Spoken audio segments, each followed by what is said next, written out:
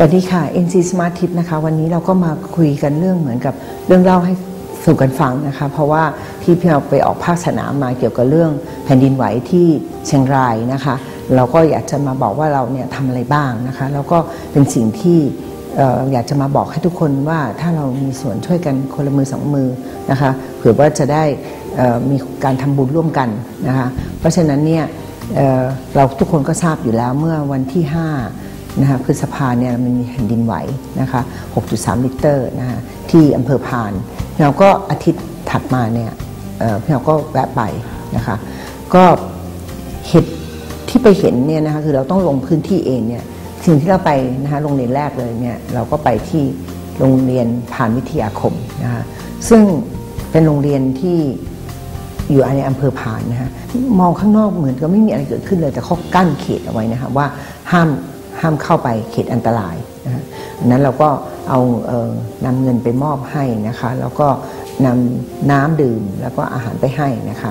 เสร็จเราก็เข้าไปดูโหตกใจมากค่ะมีสองโรงเรียนเนี้ยเหมือนกับเป็นลูกตัวแอลนะคะ ทางลึกเข้าไปเนี่ยค่ะปรากฏว่าสี่ชั้นเนี่ยมองไม่เห็นว่าเป็นอะไรเลย แต่ชั้นล่างเนี่ยนะคะ ประมาณเมตรห้าสิบเหนือจากพื้นดินเนี่ยก็ เป็นรอยร้าวหมดเลยนะเหล็กใหญ่ๆเนี่ยนะคะก็งอหมดนะคะแล้วก็ตรงคานก็ร้าวหมดนะคะเพราะฉะนั้นเนี่ยเรือนนั้นก็ต้องทุบทิ้งที่โรงเรียนพาณิชยาคมเนี่ยค่ะมีเด็กนักเรียนประมาณ 2,000 คนนะคะแต่เรือนนี้เนี่ยสี่ชั้นเนี่ยเป็นที่สอนภาษาสอนภาษาต่างชาตินะคะก็คือภาษาอังกฤษภาษาจีนอะไรก็ตามนะคะเเป็นดูยังดีมากเลยนะคะแต่ก็สร้างมาก่อนปี 2550 ก็ฉะนั้นเนี่ย กฎหมายเกี่ยวกับเรื่องแผ่นดินไหวนี่ยังไม่ออกนะคะก็ปรากฏว่าโรงเรียนนี้คงต้องทุบทิ้ง เพราะว่าอยู่ไม่ได้นะคะเป็นเรือนใหญ่มากนะคะ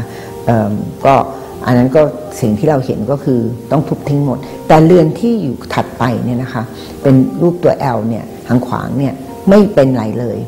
แทบจะไม่เป็นไรเลย เพราะว่าเรือนนี้สร้างหลังปี 2550 ซึ่งเป็นเรือนที่มีกฎเกี่ยวกับเรื่อง ภัยพิบัตินะคะแผ่นดินไหวออกมาแล้ว เพราะฉะนั้นเนี่ยตัวระยะเสาเนี่ยก็ห่างกันแค่ 3 เมตรนะคะตัวคานก็เสริมหนาขึ้นนะฮะเพราะฉะนั้นเนี่ยก็จะเห็นเลยว่าในเมื่อเราสร้างสิ่งปลูกสร้างที่ถูกต้องเนี่ยก็จะป้องกันได้ภัยพิบัติได้ระดับหนึ่งนะคะเด็กนักเรียนก็ย้ายมันเรียนที่ ตึกตึกอีกตึกหนึ่งแล้วก็เรียนที่ห้องอาหารซะส่วนใหญ่นะคะอันนั้นเราก็ไปเห็นพอหลังจากนั้นแล้วอำเภอที่กระทบมากที่สุดนะคะก็คืออำเภอแม่ลาวนะคะเราก็เข้าไปโดยที่เราไปเนี่ยนะคะก็ไปกับทางวิทยาลัยพลังงานรุ่นหนึ่ง ซึ่งพี่แมวเนี่ยได้เรียนอยู่กับพลังงานรุ่นหนึ่ง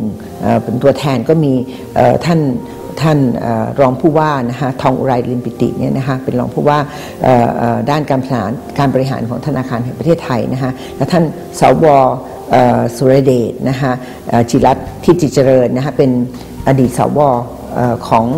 ปราจินบุรีนะคะแล้วก็เรามีเพื่อนร่วมของเราก็คืออ พี่พี่แดงเตือนใจดีเทศนะคะซึ่งเป็นที่ปรึกษามูลนิธิพัฒนาชุมชน และเเขตภูเขานะคะอยู่ที่เชียงรายเนี่ยนะคะเพราะฉะนั้นเนี่ยเราก็มีสมาคมที่ตั้งเป็นเครือข่าย เครือข่ายการจัดการภัยพิบัตินะคะก็มีมูลนิธิต่างๆนะคะคนที่แพลวเจอก็อยู่ในมูลนิธิของกระจกเงาก็พาเราไปดูในพื้นที่ นะฮะเราบอกว่าโอเคพาเราไปดูดีกว่าว่าเราจะซ่อมยังไงนะคะเพราะว่าการที่บริจาคเฉยๆเนี่ยแล้วเขาไม่มีการซ่อมสร้างที่ถูกต้องเนี่ยเดี๋ยวมันก็พังอีกนะฮะเพราะว่าครั้งที่เราไปเนี่ยก็ยังมี after shock ปรากฏว่าหลังจากนั้นมาเนี่ยก็ยังมี after shock เป็นเป็นเกือบพันครั้งแล้วนะคะเพราะฉะนั้นเนี่ยมันก็ยิ่งหล่นมากขึ้นนะคะช็อกไปครั้งหนึ่งมันก็หล่นมาครั้งหนึ่งนะะเพราะฉะนั้นเนี่ยที่อำเภอ แม่ลาวเนี่ยเราก็เลยบอกว่างั้นเราไปก่อนที่หน้าพี่เราไปเนี่ยเขาไปสำรวจมาแล้วนี่เขาก็พาพี่เราไปดูนะคะ ก็จะเจอบ้านหลาย ๆ หลังนะคะหลังแรกเลยที่เราเข้าไปนะคะคือบ้านของในในจ่อยเอ่อผ่าคำเนี่ยนะคะเขาอายุ 59นะคะแล้วก็อาศัยอยู่ภรรยาสองคนเนี่ยปรากฏว่าตัวกำแพงก็พังไปหมดเลยนะคะตัวกำแพงเนี่ยได้พังไปหมดแล้วก็ผนังก็ร้าวนี่เวลาการปลูกเขามีที่ประมาณเกือบ 200 วานะคะเขามีอาชีพรับจ้าง เราก็ดูแล้วเขาก็อยู่ในเต็นท์นะคะแล้วก็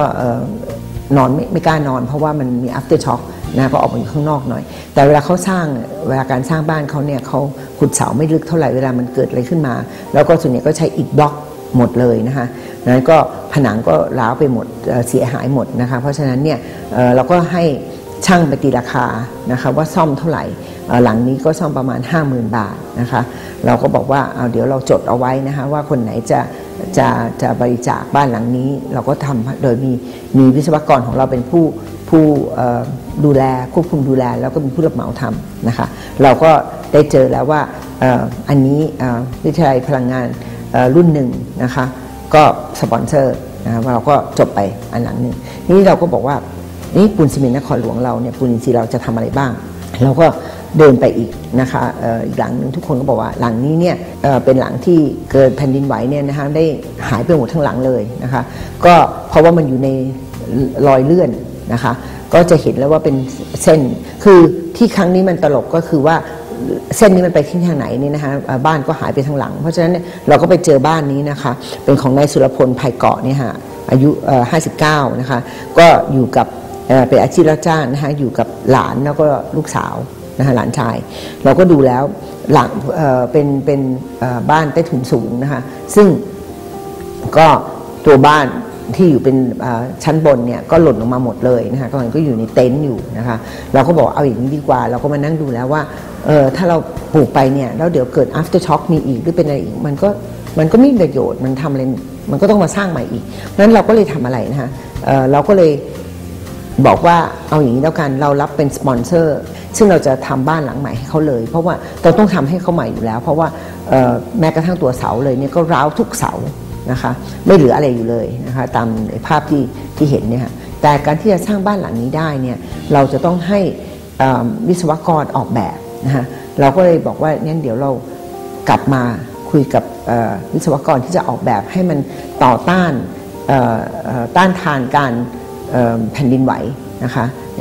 เดี๋ยวเราจะมาเล่าให้ฟังว่าเราได้ติดต่อยังไงในตอนถัดไปตอนนี้ขอพักสักครู่นะคะ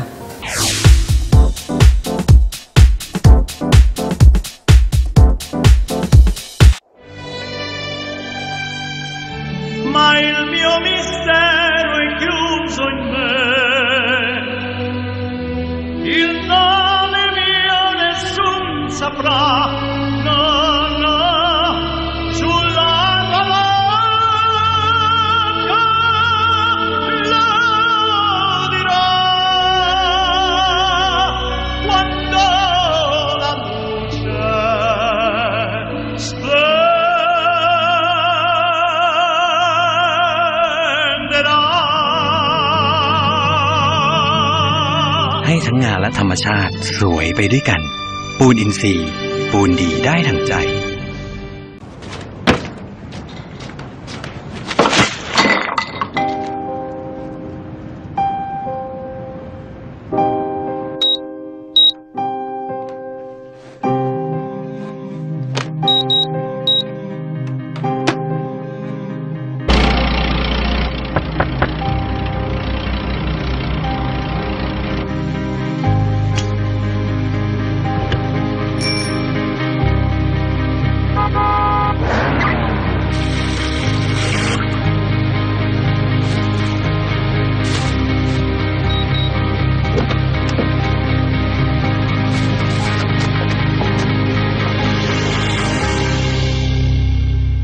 ที่นี่ เราเลือกแล้วว่าจะอยู่ข้างเดียวกับโลก ผมมาได้ครับ ถ้าเรารักโลก โลกก็จะรักเรา ปูนอินทรีย์ปูนดีได้ดังใจสวนมิ่งมงคลเฉลิมพระชนมพรรษา 84 พรรษา สวนสาธารณะต้นแบบเพื่อสิ่งแวดล้อมที่มีร้านสินค้าโอท็อป ร้านกาแฟ และห้องน้ำสวยสะอาดสุดในจังหวัดสระบุรีไว้คอยบริการ เชิญทุกคนมาสัมผัสกับบรรยากาศธรรมชาติได้บนถนนมิตรภาพ เส้นทางค้ากลับกรุงเทพอำเภอแก่งคอย จังหวัดสระบุรี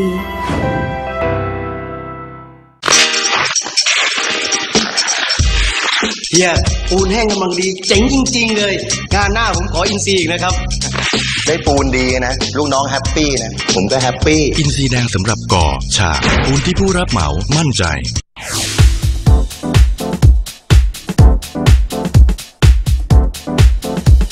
ค่ะพอเราเลือกเราคิดว่าบ้านหลังนี้ค่ะ เพราะว่าหนึ่งการ criteria ที่เราคิดว่าทำไมเนี่ยเราจะช่วยบ้านหลังนี้ก็คือว่าเขาจนนะคะพื้นพื้นที่เนี่ยเข้าไปเนี่ยไม่ได้ไปไปไม่ยากนะคะ เหมาะที่จะทำบ้านตัวอย่างนะคะให้เป็นบ้านที่อยู่กับแผ่นดินไหวได้ เพราะฉะนั้นเนี่ยเราบอกว่าเอาละเราเลือกอันนี้นะคะแล้วเราเนี่ยจะเป็นคนออกค่าใช้จ่ายทั้งหมดเราเลยต้องการสร้างบ้านหลังนี้ขึ้นมา แต่ต้องตามแบบนะคะที่ทางผู้เชี่ยวชาญเนี่ยได้ออกแบบมาแล้วนี่ยฮะที่จะอออยู่กับแผ่นดินไหวให้ได้นะคะ เพราะฉะนั้นเนี่ย เราก็เลยบอกว่าโอเค เราจองบ้านหลังนี้ แล้วเราจะทำให้เขานะตอนนี้เขาก็ต้องอยู่ในเต็นท์ไปก่อนอะไรก็ว่าไปนะคะแล้วเราต้องการสร้างเสร็จให้เร็วที่สุด เพื่อจะได้เป็นโปรโตไทป์นะคะเป็นบ้านตัวอย่างซึ่งทุกคนเนี่ยจะต้องการเอาบูพรินต์ในนี้ไปสร้าง หรือแล้วใครจะมีสปอนเซอร์เพราะว่าจริง ๆ แล้วบ้านที่เสียหายทั้งหลังเนี่ยค่ะมีเป็นร้อยกว่าหลังนะคะ เพราะฉะนั้นเนี่ยเราก็เลยบอกว่าเดี๋ยวเราจะดำเนินต่อไปนะคะ อันนั้นเราก็ได้บ้านหนักหนึ่งหลังแล้วนะคะที่เราจะต้องไปออกแบบ ให้เขาแล้วก็สร้างให้เขาเพื่อเป็นบ้านตัวอย่างนะคะ ทีนี้เราก็ดูไปเรื่อยๆเพราะเรามี list เยอะนะคะหลังจากที่เราทำเสร็จแล้วเราก็ดูว่าบ้านหลังนี้ประมาณซ่อมแซมประมาณ 2 5 0 0 0 3 0,000 เราก็เลยทำ list แล้วเราก็จะกลับมาเเพื่อว่าจะหาว่าใครจะสปอนเซอร์นะคะในส่วนที่วัดนี่เราก็ไปดูวัดหลายวัดวัดนี่เสียหายก็เยอะนะคะแต่การที่จะซ่อมวัดทั้งหลังเนี่ยมันก็ต้องมี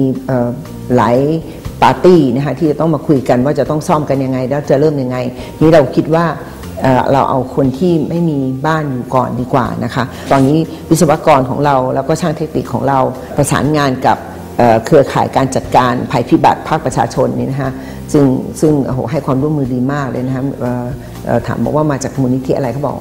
คนที่เราคุยด้วยนะคะคือคุณโจก็มาจากมูลนิธิกระจกเงาอะไรอย่างนี้เป็นต้นนะคะก็เราก็หวังว่า เรามาแค่เป็นเค่สะพานเชื่อมให้เห็นว่าเราควรจะช่วยเหลือเขายังไงบ้างนะคะ เพื่อจะทำให้เขาอยู่ได้นะคะ ทีนี้เรามาพูดถึงแผ่นดินไหวเนี่ยฮะทุกคนก็คงจะมี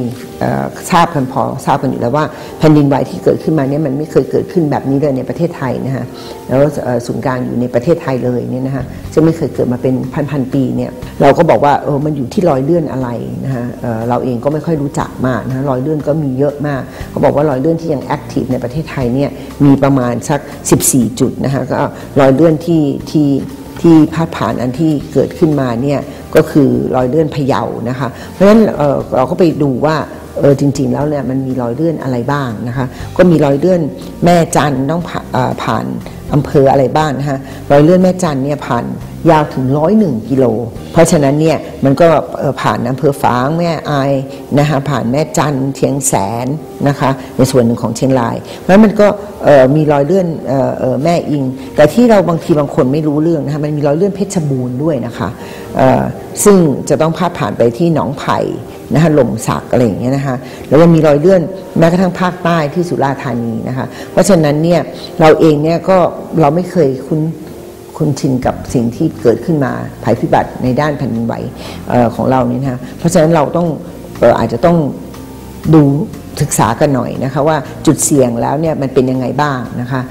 แต่ตอนนี้หลังจากที่พระราชบัญญัติแผ่นดินไหวเมื่อพศ 2550 ออกมาเนี่ยก็จะมีการก่อสร้างที่จะต้องออกแบบให้ถูกต้อง เพื่อเป็นการป้องกันแผ่นดินไหวอันนี้ด้วยนะคะ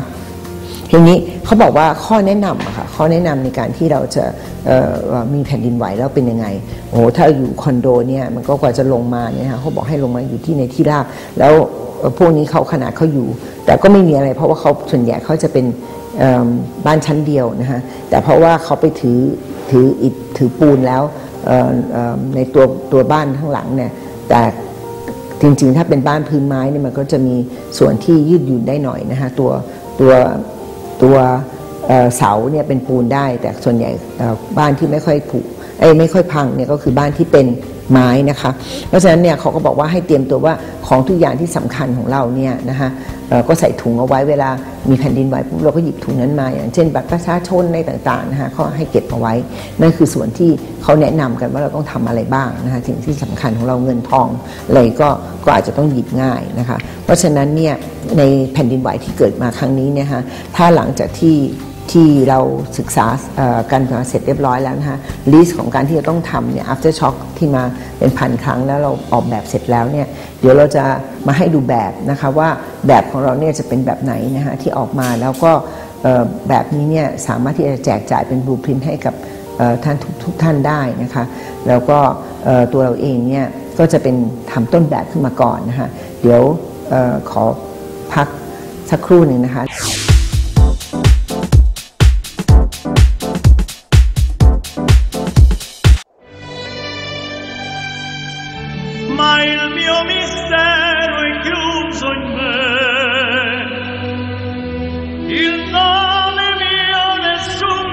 ให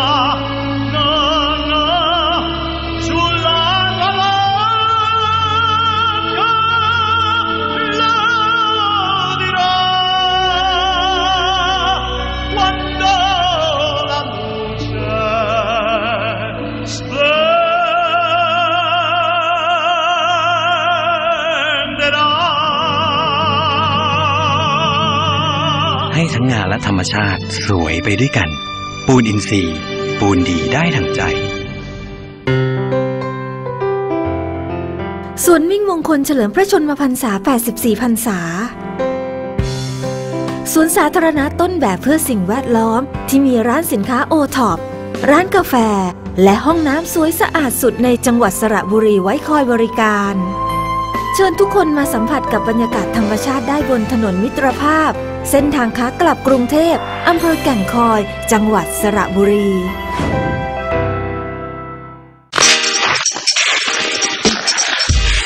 เฮียปูนแห้งกำลังดีเจ๋งจริง ๆ เลย งานหน้าผมขออินซีอีกนะครับ ได้ปูนดีนะ ลูกน้องแฮปปี้นะ ผมก็แฮปปี้ อินซีแดงสำหรับก่อฉาบปูนที่ผู้รับเหมามั่นใจ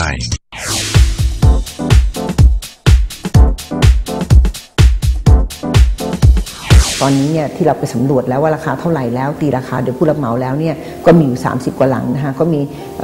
หลายวิทยาลัยตลาดทุนก็มีช่วยมานะคะเเพื่อนๆของตัวพี่เราเองนะคะก็ช่วยเหลือกันมานะคะเป็นหลังๆก็ 25,000 30,000อะไรอย่างเงี้ยนะคะในส่วนบ้านเเดี๋ยวเราจะขึ้นให้ดูว่าแบบนี้ ท่านสามารถที่จะนำไปสร้างได้นะคะ ถ้ามาขอบลูพินจากเราได้ แล้วก็มีการตีราคาให้เสร็จเรียบร้อยแล้วนะคะ ท่านสามารถจะเอาอันนี้ไปให้ช่างสร้างได้เลยนะคะตามแบบนี้นะคะ หรือถ้าไม่นั่นก็ไม่สะดวกก็ติดต่อกับทางปุณินทรีย์ได้นะคะว่าเราสามารถจะให้ท่านช่วยให้ท่านสร้างให้ท่านได้เป็นบ้านที่ป้องกันออยู่ได้กับการแผ่นดินไหวนะคะ เวลาเกิดแผ่นดินไหวขึ้นมา เพราะฉะนั้นเนี่ยพี่เมาฝากด้วยนะคะในในฐานะที่ที่เราเได้ทำงานร่วมกันเนี่ยนะคะเราจะเห็นว่าในการที่เราออกไปสำรวจจริง ๆ แล้วเนี่ยเราเห็นเลยว่ามีคนเนี่ยจะขอความช่วยเหลือเยอะแยะนะคะแต่เราเนี่ยเเขาไม่รู้จะ ผ่านทางสื่อไหนนะคะ ในการที่เราให้น้ำดื่มเขาให้อาหารแห้งเขาหรือถุงยางชีพเนี่ยค่ะเขาบอกให้มาว่าจริง ๆ แล้วเขาอยู่ได้เพียงแต่ว่าเขาอยากจะมีบ้านอยู่นะคะ เพราะฉะนั้นเนี่ยเราเราเองเนี่ยอออาจจะแบบว่าต้องดูว่าเขามีความต้องการแบบไหนนะคะ แต่อย่างนี้มันก็ทำยากหน่อยก็คือว่าเราต้องไปสำรวจ เราต้องไปตีราคานะคะ แล้วเราก็ต้องไปช่วยเขาสร้างนะคะ แต่ทั้งนี้ทั้งนั้นเนี่ยค่ะเราเองมีทีมงาน ที่ลงพื้นที่อยู่แล้วนะคะ ที่จะทำอันนี้ให้เกิดเป็นสำเร็จขึ้นมานะคะไม่มากก็น้อยเราก็พยายามที่จะยื่นเข้าไปช่วยเหลือนะคะอ่อทีนี้ที่พี่แอลบอกนะคะว่ามันจะไม่มีอะไรที่จะสวยงามไปกว่าควรที่ออกไปทำให้ผู้อื่นมีชีวิตที่สวยงามนะคะเพราะฉะนั้นเพราะฉะนั้นเนี่ยเเราทำให้เขาชีวิตดีขึ้นนะคะชีวิตที่สวยงามขึ้นเนี่ยเเราเองก็จะมีความภูมิใจที่เราได้เป็นส่วนหนึ่ง นะคะที่ทำให้เขามีบ้านอยู่นะคะไม่ว่าอะไรจะเกิดขึ้นเเขาก็เราก็ได้ช่วยเขาในระในระดับหนึ่งแล้วนะคะก็ขอฝากแบบบ้านนะคะก็อย่าลืมนะคะติดต่อกับบริษัทปุณิปุณินทรีย์นะคะคุณสิเมนนครหลวงจำกัดมหาชนเนี่ยค่ะจากตัวที่วิ่งนะคะได้ ท่านจะสามารถเข้าไปในเว็บไซต์ของเรานะคะหรือติดต่อในบล็อกของพี่เราเองได้นะคะจันทนาบล็อกได้ได้เลยนะคะ เราหวังว่าบ้านที่พี่เราสร้างเนี่ย เป็นบ้านตัวอย่างโปรโตไทป์เนี่ยนะคะจะมีประโยชน์ให้กับทุกๆ คนไม่มากก็น้อยนะคะ ขอขอบคุณค่ะ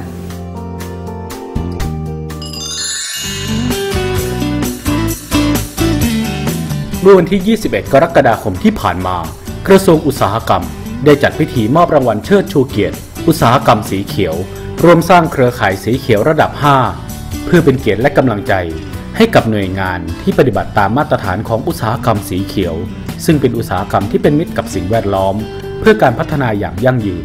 โดยการมุ่งเน้นในกระบวนการพัฒนาและปรับปรุง กระบวนการผลิต การบริหารจัดการสิ่งแวดล้อมอย่างต่อเนื่อง รวมถึงความรับผิดชอบต่อสังคม ทั้งภายในและภายนอกองค์กร ตลอดห่วงโซ่อุปทาน โดยโครงการนี้แบ่งการพัฒนาเป็น 5 ขั้น เริ่มต้นด้วยการกำหนดนโยบาย และพัฒนาไปสู่การปฏิบัติ การมีระบบ การมีวัฒนธรรม และการสร้างเครือข่ายสีเขียว ซึ่งปัจจุบันมีผู้ผ่านการประเมินระดับ 1-4 ไปแล้วกว่า 13,000 ราย ซึ่งงานมอบรางวัลเชิดชูเกียรติในครั้งนี้ คณะกรรมการส่งเสริมและพัฒนาโครงการอุตสาหกรรมสีเขียว ได้ประกาศรายชื่อ สถานประกอบการที่ผ่านการประเมินเป็นอุตสาหกรรมสีเขียวระดับที่ 5 เครือข่ายสีเขียว ซึ่งเป็นระดับสูงสุด ซึ่งบริษัทปูนซีเมนต์นครหลวงจำกัดมหาชน จังหวัดสระบุรี เป็นหนึ่งในบริษัทที่ได้รับการพิจารณา ให้ได้รับโล่เชิดชูเกียรติในระดับสูงสุด ระดับที่ 5 เครือข่ายสีเขียว ครับสำหรับกิจกรรมที่โดดเด่นของเรานะฮะมีอยู่หลายกิจกรรม แต่สิ่งที่เราอยากจะขอไฮไลท์ในวันนี้ก็คือ โครงการที่เราเรียกว่าโครงการธนาคารขยะ ธนาคารขยะของเราเนี่ยเริ่มมาจากกิจกรรมที่รณรงค์กับพนักงานทางปูนอินทรีย์ข้างในข้างในหน่วยงานของเราเองเรารณรงค์ให้พนักงานเนี่ยหาขยะทั้งขยะสำนักงาน และขยะที่เป็นที่เป็นขยะที่มาจากบ้านทำการคัดแยกขยะ แล้วกลับมาเอาเอาขยะจำนวนนั้นเนี่ยมาฝากไว้กับหน่วยงานที่เราตั้งขึ้นที่เราเรียกว่าเป็นธนาคารขยะ ผลตอบแทนที่พนักงานของเราจะได้คืออะไร ก็คือความภาคภูมิใจของพนักงานที่ได้เข้ามาร่วมในจุดนั้นนะฮะโดยถือว่าเขาเป็นโรโมเดลในเรื่องของการคัดแยกขยะ จากองค์ความรู้ตัวนี้เนี่ยเราสามารถเอาไปประยุกต์นะฮะทางเราเราเนี่ยได้ไปประยุกต์แล้วกับทางสามหน่วยงาน อันที่หนึ่งก็คือ ชุมชนของเราที่เป็นชุมชนที่อยู่ใกล้โรงงานสระบุรี เราลงไปสอนให้เขาทำการคัดแยกขยะนะครับ แล้วก็เอาขยะคล้าย ๆ กับว่ามาขายนะฮะทางชุมชนก็จะเอาเงินจำนวนนี้นะฮะเข้ามาแล้วก็เอามาสมทบในกองทุนผู้สูงอายุของของทางหมู่บ้าน อันที่สองที่เราไปประประยุกต์ใช้นี่ก็คือในเรื่องของอผู้รับเหมาขนส่งที่อยู่ในโรงงานนะฮะเป็นพวกผ้าปนเปื้อนน้ำมันอุปกรณ์ต่างเอ่อมาจากอู่ของเขา นะฮะอันนี้ก็จะมาฝากไว้ที่ธนาคารขยะเหมือนกัน โครงการนี้เราขยายผลไปที่พนักงานของผู้ขนส่งด้วยนำขยะจากที่บ้านเขาเนี่ยเข้ามาฝากที่ธนาคารขยะมือนเราในในในในเทอมเดียวกันด้วยความประทับใจของของเราก็คือว่าการที่เราได้รับความร่วมมือจากทุกหน่วยงานที่เกี่ยวข้องนะฮะภายในขององค์กรเอ่อของปูนซีเมนต์นครหลวงเองเนี่ยก็คือตั้งแต่ระดับผู้บริหารระดับ กรรมการบริษัทมีส่วนร่วมในการที่จะผลักดันในการที่จะกำหนดนโยบายกำหนดทิศทางที่เราจะเดินไปในเรื่องสิ่งแวดล้อมนะฮะจากนั้นเราได้ความร่วมมือจากทางพนักงานของทุกท่านนะฮะโดยอย่างยิ่งพนักงานที่โรงงานสระบุรีสหภาพแรงงาน กลุ่มของตัวแทนลูกจ้าง และพนักงานในทุกระดับที่โครงการสระบุรี นอกจากนั้นก็เป็นความร่วมมือของอผู้รับเหมานะฮะซัพพลายเออร์ชุมชนโดยรอบ รวมไปถึงทางลูกค้า ความประทับใจของเราวันนี้ก็คิดว่าเราสำเร็จได้ด้วยทีมเวิร์กของเราทุกคนที่เกี่ยวข้องครับก็คงอยากขอฝากไว้ว่าการดำเนินธุรกิจเนี่ยคงจะต้องคิดถึง3 objective หลักๆ ผลประโยชน์ในด้านธุรกิจ ผลประโยชน์กับด้านสิ่งแวดล้อม และผลประโยชน์ที่เราสามารถทำให้กับชุมชน